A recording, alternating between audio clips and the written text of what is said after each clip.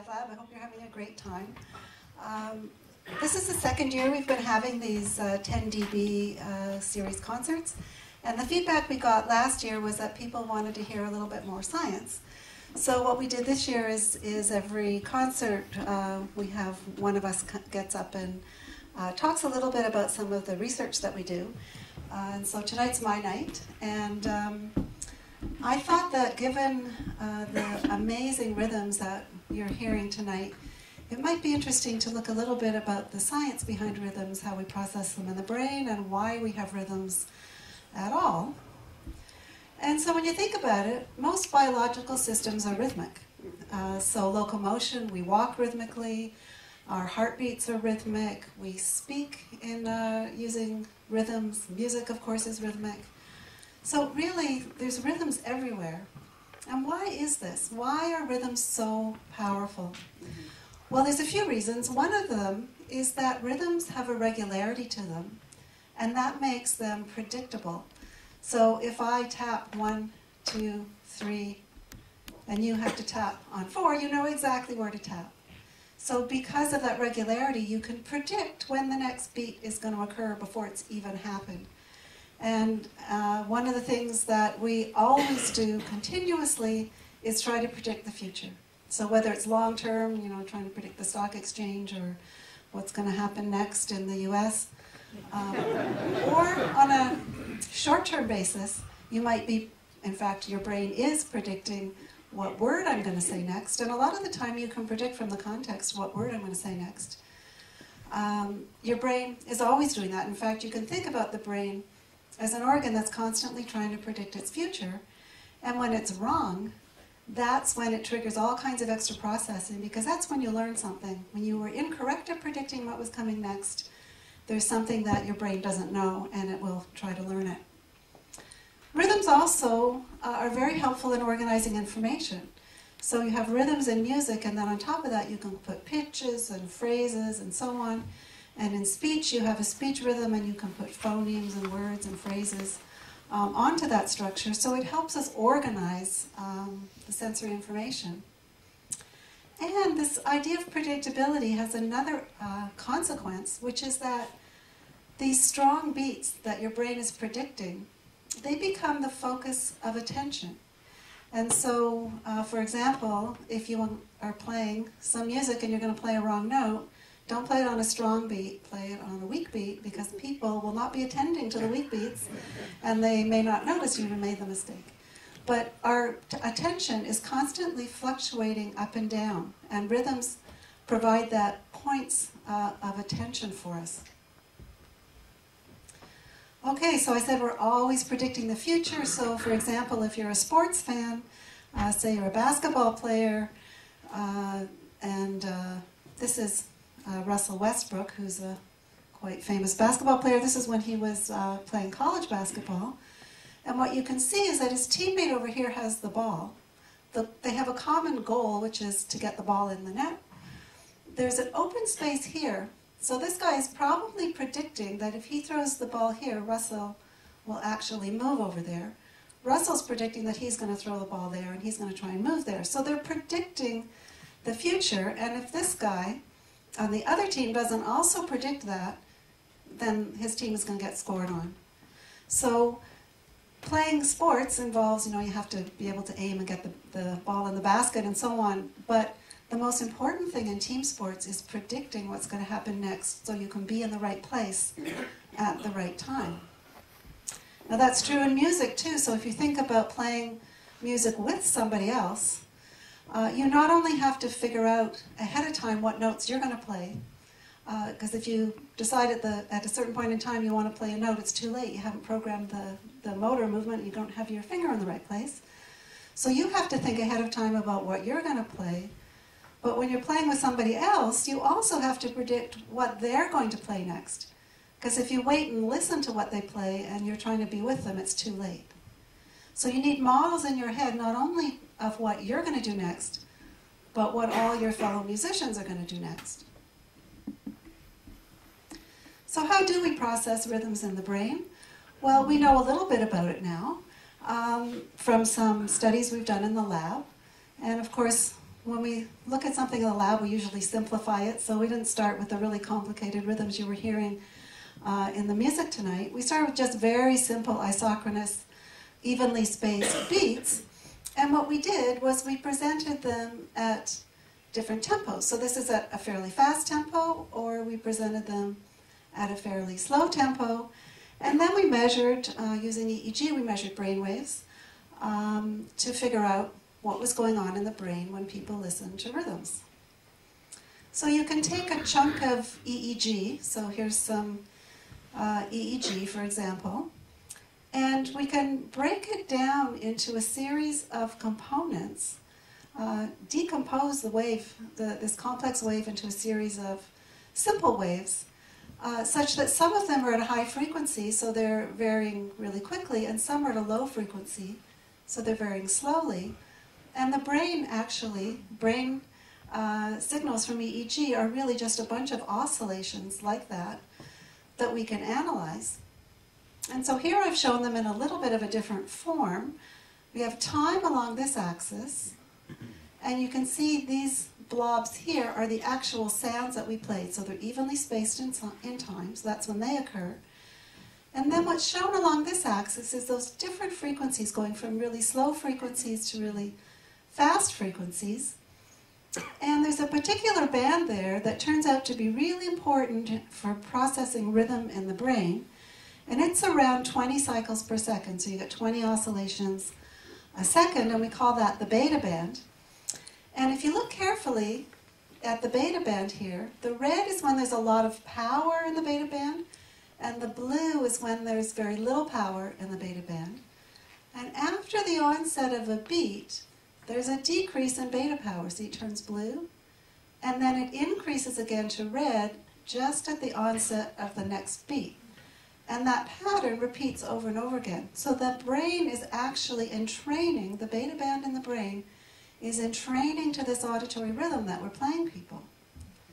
And if we slow it down, so now you see the um, times where the sound occurring, still regular but slower, and what happens? Well, the brain oscillations slow down. The power in the beta band slows down.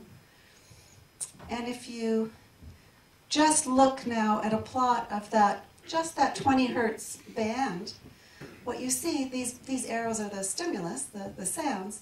So you get a decrease, increase, decrease, increase. At the slower tempo, you get a, an abrupt decrease after the tone, and then you get a slow increase to the next tone, abrupt decrease and a slow increase. So this increase here, that's the neural signature of your brain predicting when the next beat is going to occur. Okay, pretty cool. And if we look across the whole brain now, and we look where in the brain do we see the beta band entraining to the auditory rhythm, well, we see it in auditory cortex. That's not so surprising. We expect the sound to be processed there. But we also see it in motor areas that control movement. So we see it in the supplementary motor area, these various movement areas, the cerebellum, and so on. So when you just listen to an auditory rhythm, it's not only your auditory cortex that is entraining to that rhythm, your motor cortex is entraining to it as well, and that, we think, is why music want, makes you want to move to the beat. So have you ever wondered why, like you're listening to a sound, why does that make you want to move to the beat? Well, because of these processes that we're discovering in the brain, that the auditory system is connected to the motor system when you hear rhythms. So just to sort of summarize this, we have these fast beta oscillations, 20 hertz, and if we look at how they in, the beta increases and decreases in power, that focuses our attention at these particular points in time. And we're much better at hearing what's going on at these points in time than we are at these points in time. Okay, so tonight we're not going to measure your brain waves. We can measure them in, in this space, but that's not what we're going to do tonight. We're going to do motion capture tonight.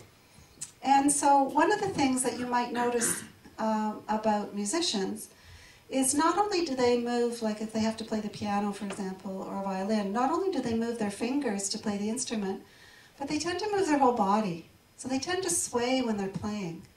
And you might wonder, why are they doing that? Uh, they don't need to do that to actually just play the notes. Uh, so we've been testing various musical ensembles, and this is the Gryphon Trio, who's uh, one of uh, Canada's uh, finest uh, string trios. Um, and we had them come into the lab, and you'll see what they have on their heads, these mysterious caps that people keep talking about. And they have four little markers here, these little round balls. And the infrared cameras around the space um, shine infrared light on them, which you can't see, of course. Uh, and that light reflects back, and they, they record uh, the, the, the light uh, reflecting off the markers. And then because we have cameras around the whole space, we can recreate three-dimensional models of exactly how the musicians are moving. And because when you move your head, when you move your torso, you move your head. So by just measuring the head, we can actually get uh, an indication of how the body is moving when musicians are playing. And our question here is, we think that the musicians are moving their bodies because they're using that as a way of communicating to each other. Now, they're not communicating exactly what note they're playing. What they're communicating is phrasing and expression and articulation and dynamics. And they're indicating to each other ahead, we think, of what they're going to play. They're indicating to the other musicians how they're going to be playing that. So how do we actually measure that? Um, well, let me just first show you a little video. One of the things we asked them to do was play the same piece twice. And once we had them play it expressively, the way they normally would, and then the other time we said, okay, play the same piece and play it really well, play it together, but don't, don't put a lot of musical expression into it. And I'm going to play this for you without the sound um, and see if you can tell which version. So these are the motion capture um, uh, recordings that we get. Uh, see if you can tell which version they're playing expressively.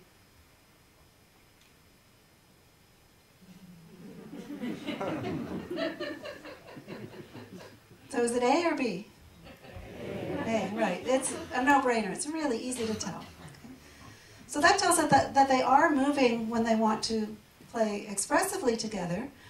And then we can use mathematical techniques to look at whether they're actually communicating with, with each other. So for example, we can use something called Granger causality. And so what's shown here uh, in the top is musician one's movement trajectory, and on the bottom is the movement trajectory of musician two.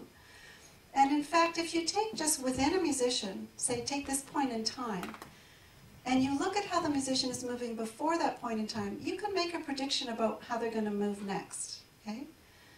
But then what we do is we say, well, can we also tell from how musician two moved before that time, if that affects how musician one is moving? So can we predict from musician two's movements here what musician one is going to do next? And it turns out that we can. And that's the communication between the musicians in action. And whether we play, whether they play happy piece or a sad piece, this measure of group coupling, how well they're coupled together, is higher when they play expressively than when they play non-expressively. So this research that we do here in the Live Lab um, is showing us how the brain uh, encodes musical rhythms and how musicians communicate with each other uh, through their movements. So we might sort of take a step back and ask, well, why do we have music when we want to feel a common emotion? If you think about it, we have music at parties, at weddings, at funerals, religious ceremonies, political rallies, sporting events, and even in the military. So basically, any time that we want people to come together and cooperate socially and feel a common emotion, we have music. So why is that? Well, there's a number of studies now that show that when two people move together in synchrony, afterwards, they like each other more, they trust each other more. If you give them a cooperative game to play, they cooperate more in the game. Uh, compared to people who were with each other for the same amount of time but did not move together in synchrony. So there's something about moving together with other people that has a social consequence for us. Um, and so we wondered whether young infants would already do this. So would moving in synchrony with another person also affect how an infant uh, felt socially connected to that person? Now infants are too motorically immature to actually move in time to the music themselves, although they will try.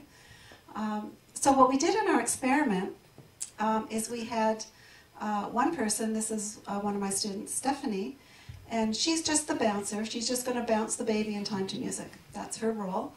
And then uh, Laura Cirelli, over here is my graduate student, um, who actually just got a job at University of Toronto, a tenure track job, so we're all really happy about that.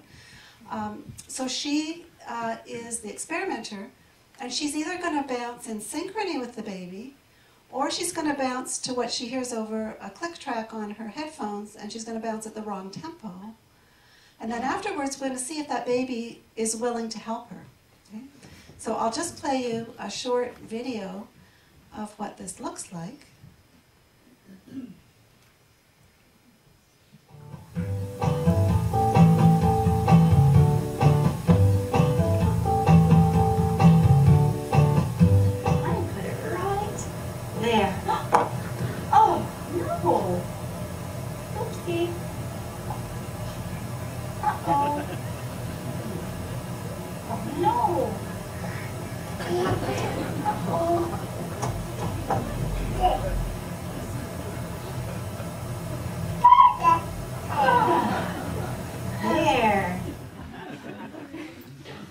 watch what happens when it goes out of sync. One foot, two, mm. good job. Oh, there. Okay,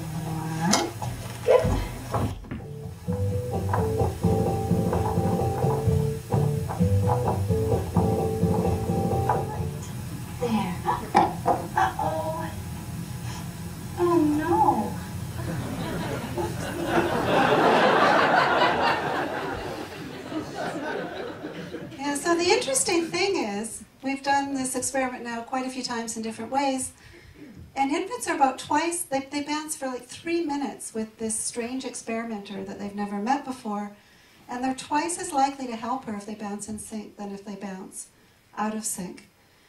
So that's a pretty powerful effect.